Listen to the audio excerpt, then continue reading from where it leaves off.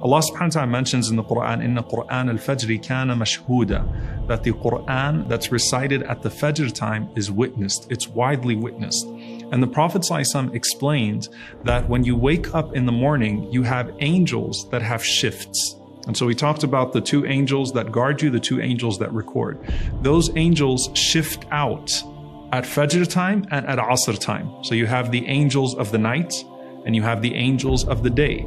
And the Prophet ﷺ said, they switch those shifts at the time of Fajr and at the time of Asr.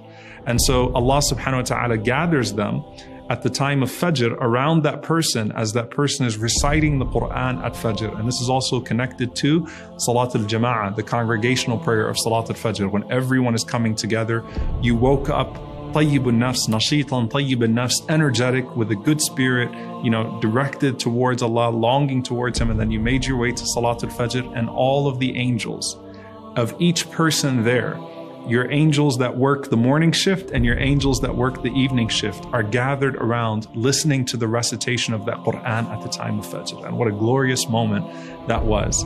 And so Allah subhanahu wa ta'ala asks those angels that He sent to you and those angels that are coming back because they all report back to Allah after their shift. And Allah subhanahu wa ta'ala says to them, How did you find my servants? They say, Taraknahum wa hum yusallun wa ataynahum wa hum yusallun.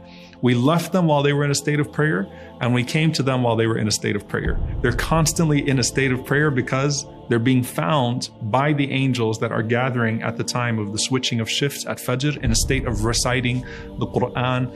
And of course, the Quran of Fajr is supposed to be the longest recitation of the Quran, where we really start our days off connected to Allah subhanahu wa ta'ala. And this, by the way, connects to the hadith where the Prophet was asked about a person who sleeps through the night and then wakes up after the sunrise. Okay, so sleeps through the night, wakes up after the sunrise. And the Prophet said, that's a person, that the shaitan urinated in their ears. So the difference between the angels being at your bedside, seeking forgiveness for you, protecting you, and then you wake up in the daytime and the angels assemble for you, your angels that work the morning shift, malaikatul nahar, malaikatul layl, the angels that work the evening shift, all gathered around you as you recite the Quran and reporting to Allah that this person was in a state of prayer when we came to them, and this person was in a state of prayer when we left them.